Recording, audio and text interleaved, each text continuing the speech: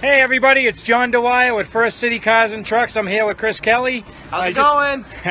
Chris just picking up his uh, his new Volvo here, his Volvo XC90.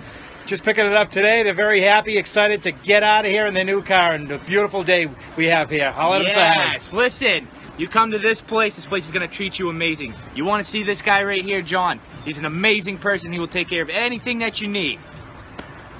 Thank you very much, Chris. I really appreciate that. We'll see you next time.